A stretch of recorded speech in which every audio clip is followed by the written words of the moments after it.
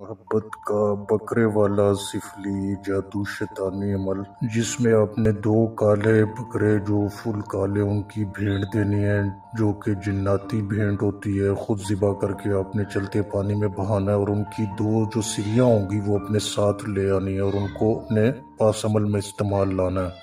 और फुल जो है, वो बिल्कुल काले रंग का हो।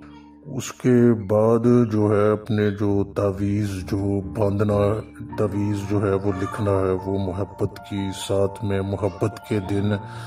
जो है जहरा या मुश्तरी के साथ में लिखा जाएगा। जो आपने बकरे का खून लिया था, उसी जो है वो, उसी से आपने तावीज़ लिखना है। उसकी स्याही बना के ज़ाफ़रान के साथ जो है अपने ये अमल लिखना है, मोहब्बत की साथ में।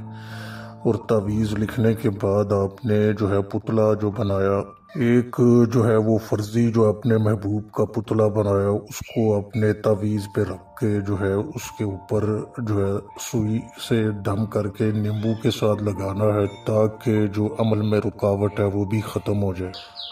उसके बाद आपने जो है इस पर कोई भी खुशबूदार चीज़ जो इधर होता है यार के गुलाब वो आपने छिड़क देना है ताकि ये जो है खुशबू इसमें जिन्नात को अपनी तरफ़ लाती है और जिस अमल के आप आमिल हैं, याद रहे, इसमें वही आपने पढ़ना है जिसके जिन्नात व मौकलात आपने हाजिर किए होंगे पहले से।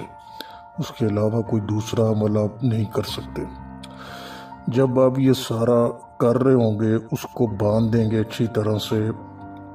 और आपने जो बकरे आपने ज़बा की उनकी सिरियों के ऊपर से आपने इसको फेरना है अच्छी तरह से ताकि, और इस दौरान भी आपने अमल का वर्द जारी रखना है और तस्वुर हो के मतलूब पे असर होगा। उसके बाद आपने ये जो हांडियाँ हैं, उस हांडियों में ये दोनों सिरियाँ डाल के और ये पुतला भी पूरा जो है आपने सारा कुछ एक ही जगह पुरानी कब्र में दफन करके आ जाना है। ये एक रात का अमल है जो अपना असर जो है वो सौ फ़ीसद एक रात में ही दिखा